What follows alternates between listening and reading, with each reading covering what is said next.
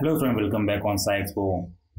I am Dr. Ravindra Donde. In today's video, I am going to show you how to analyze population genetic using PopGene software. In this video, I will show you codominant diploid data analysis by using PopGene software.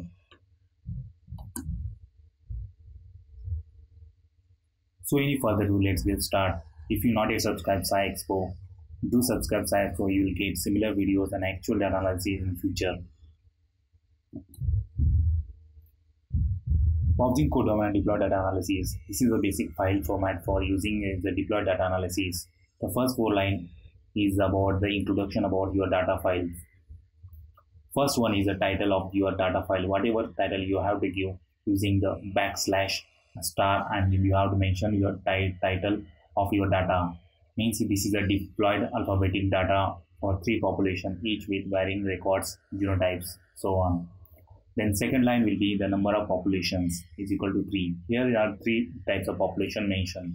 Number of loci is using total total 21 and fourth line was uh, using locus names. That is a 21 locus name. And each of the population you have to make keep a empty line or population name of each population.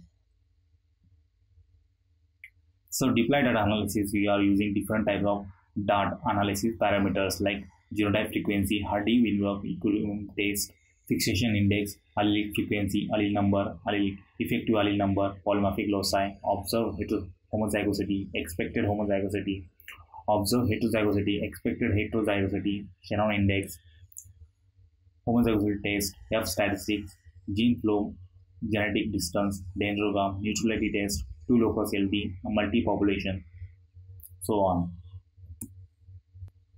Let's jump into the Microsoft Excel hands-on input file preparation in Microsoft Excel for diploid and diploid codominant data analysis using PopGene software. This is a diploid data for co-dominant marker sheets. First, uh, first four lines are the information about your data types, as I mentioned in the previously. So first, you, you have remember that uh, you should use uh, backward slash in the title of your data then your number of populations is equal to 3 and number of loci 21 then follow to this uh, your locus name. Here is a total 21 is a locus name mentioned here. And this one is uh, your population types. The population 1 population 2 and population 3 in between that population you mention there is a empty line mentioned here there. So this line is keep for the population name. So uh, here i don't know the population names. So i keep here empty lines for each in between each populations. So uh, population create the id for each population like population 1 2 and 3 so on. So this is all types of data. Then here i have to mention here total number of markers and locus so here 21 locus here. The locus is in the column format so this is the one one one locus second and third. Like this 21 locus is here in column wise. And genotypes are genotypes name are in the row wise. Genotype 1 genotype 2 total 1 to 9 in the first population. And the second one is a 1 to 9 same. And third one is a 1 to 1 to 25 genotypes in one population. Like that if uh, you can uh, mention to population 1 also but uh, in this in this case you have to delete the this empty space between the populations.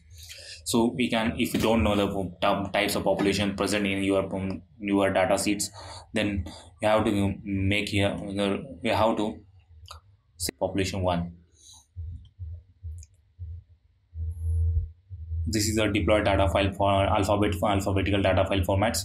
So we save this data file in the excel file format. First of all i'm going to select all file then copy it and then open popgen software.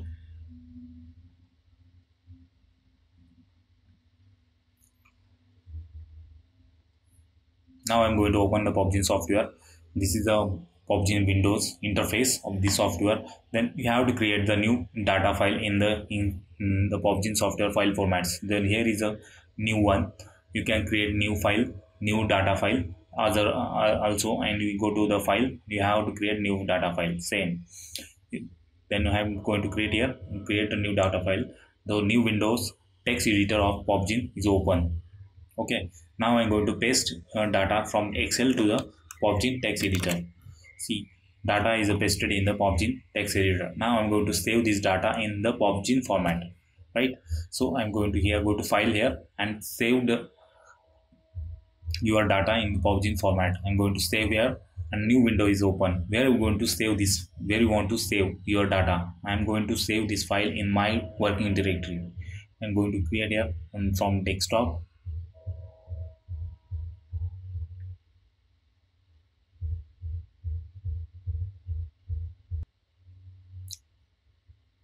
this is the codominant data.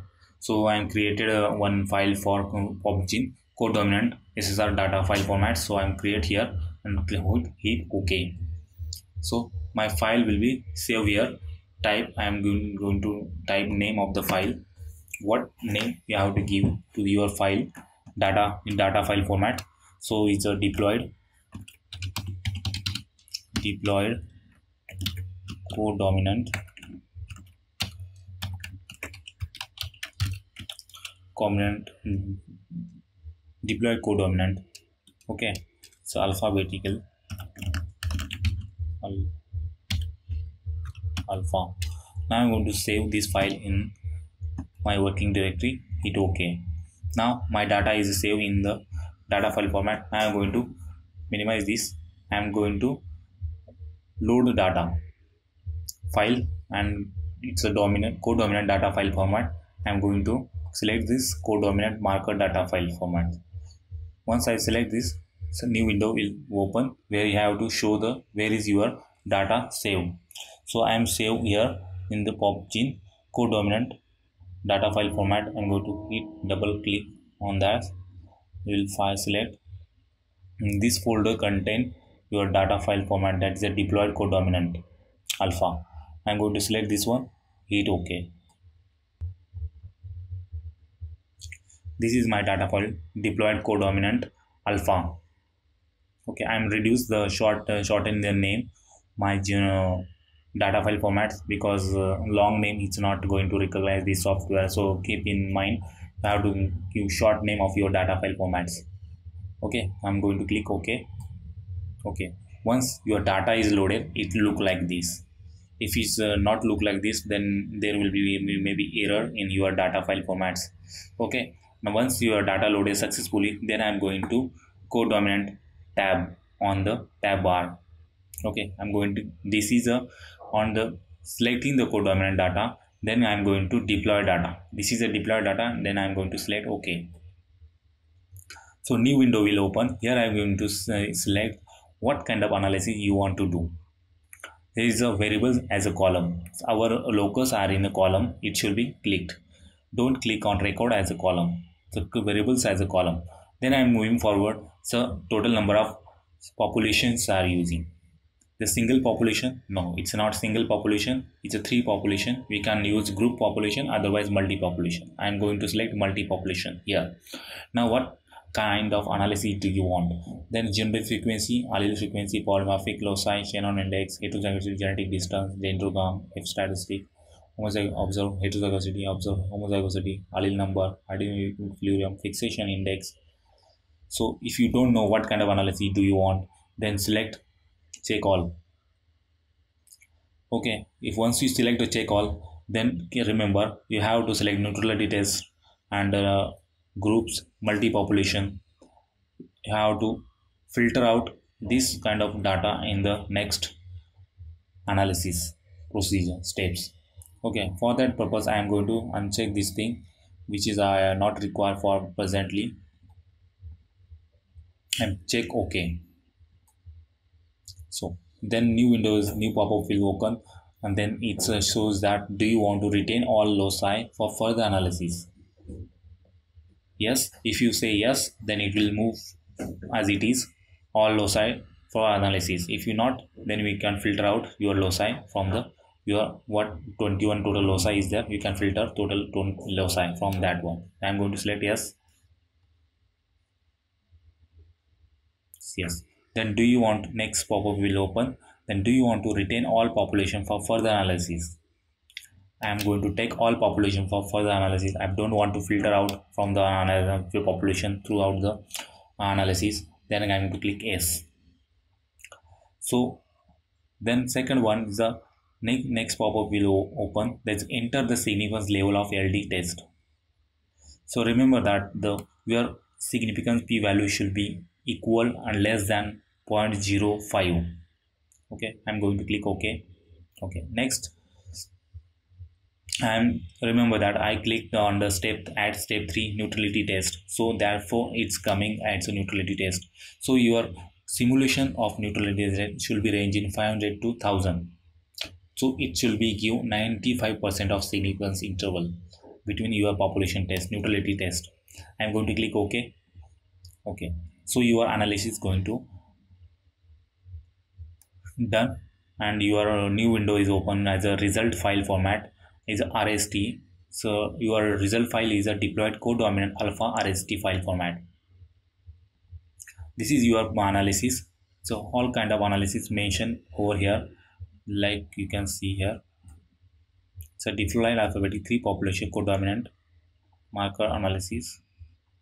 So overall locus is eh, each giving each locus giving all details like genotype, observer expected expected values, observer value, like this chi-square test degree of freedom probability all basic statistics it will generate the file form file you just copy all file formats in paste in the text or word microsoft word for your future purpose.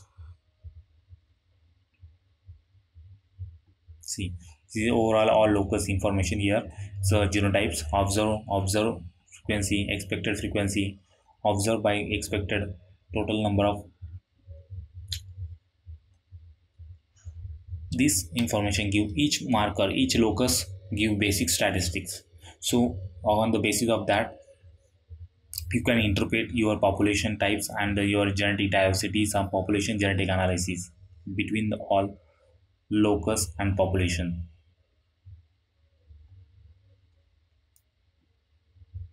here i'm going to show one thing here there is a correlation also fixation index of your major heterozygous deficiency or XSS.